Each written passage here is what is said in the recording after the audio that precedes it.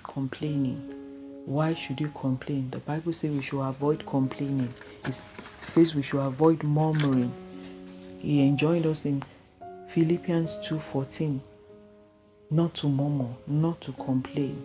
We can present our grievances in a decent way. Ask God the best way to approach that superior, the best way to approach your spouse, the best way to put it across to your friend so that it would not be misinterpreted or seen as murmuring or aggression.